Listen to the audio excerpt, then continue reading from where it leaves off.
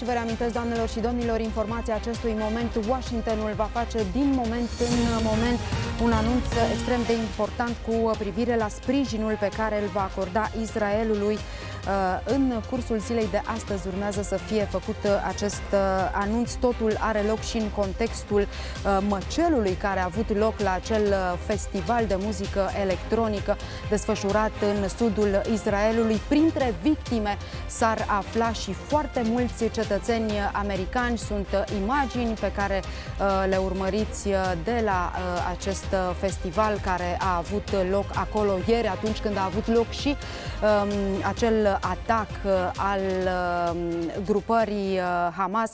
Festivalul a avut loc chiar în ziua acestui uh, atac. Cei care au scăpat de acolo povestesc că după bombardament extremiștii au deschis focul și au tras efectiv la întâmplare în uh, mulțime.